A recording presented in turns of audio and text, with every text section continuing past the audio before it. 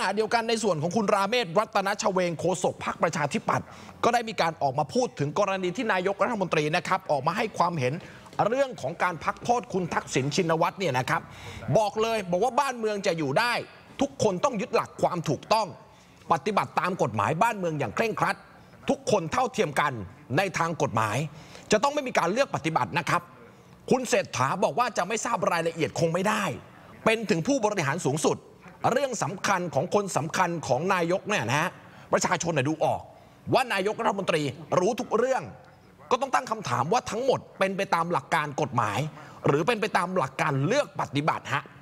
ขณะเดียวกันคุณราเมศเนี่ยยังบอกบอกต่อว่า ส่วนนายกจะตั้งคุณทักษิณเป็นที่ปรึกษาหรือเปล่า เป็นเรื่องของนายกรัฐมนตรีนะครับ เพราะเชื่อว่าไม่ว่านายกทักษิณจะอยู่ในสถานะใด เป็นผู้ต้องขังที่ได้รับการพักโทษ หรือเป็นผู้ที่เคยต้องคำพิพากษามาหลายคดีก็ไม่มีผล เพราะที่มาของนายกรัฐมนตรีคนนี้ทุกคนทราบดี ว่ามีความสัมพันธ์เชื่อมโยงสอดคล้องกัน อย่างปฏิเสธไม่ได้ นายกรัฐมนตรีเป็นคนมีระเบียบวินัย ยิ่งกว่าทหาร ซ้ายหันขวาหันทำได้ยอดเยี่ยมอยู่แล้วครับ อืมค่ะ คือพูดง่ายๆเนี่ยนายกบอกว่า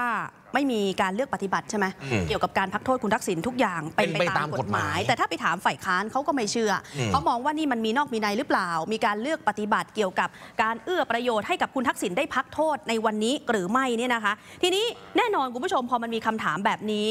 ก็ต้องไปฟังทางหน่วยงานอิสระใช่ไหมอืมอย่างปปช ที่ก่อนหน้านี้เนี่ยเคยรับเรื่องร้องเรียนจากกลุ่มของคอปทที่เขาไปร้องว่ามีเจ้าหน้าที่รัฐ หรือว่าข้าราชการเนี่ยเอื้อประโยชน์ให้กับคุณทักษิณได้พักโทษหรือไม่ ล่าสุดได้รับการเปิดเผยออกมาจากคุณนิวัฒชัยเกษมมงคลนะคะ เลขาธิการปปช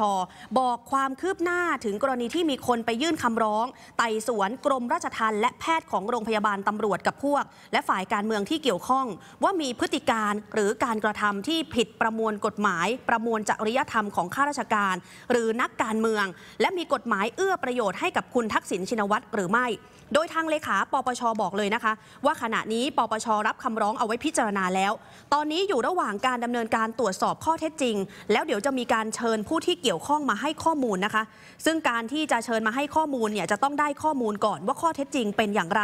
มีกฎหมายและวิธีปฏิบัติอย่างไร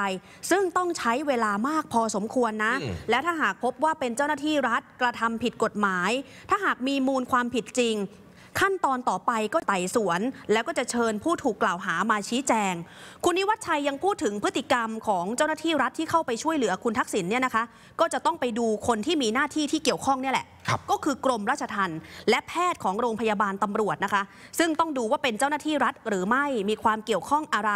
ดังนั้นถือว่าเข้าข่ายอยู่ แต่จะเข้าข่ายความผิดหรือไม่อยู่ที่ข้อเท็จจริง ถ้ามีกฎหมายหรือระเบียบที่เกี่ยวข้องทำไปโดยฝ่าฝืน ก็มีประเด็นที่จะต้องสอบไปว่ามีมูลเป็นความผิดหรือไม่ แต่วันนี้ยังเร็วไปที่จะฟันธงว่าใครผิดใครถูก ก็คือเบื้องต้นอืมรับเรื่องรับคำร้อง สอบเจ้าหน้าที่รัฐที่เกี่ยวข้อง ที่เกี่ยวกับการพักโทษของคุณทักษิณเนี่ยเอาไว้พิจารณาเรียบร้อยแล้วนะคะ ว่ากันไปตามกระบวนการคุณผู้ชมครับ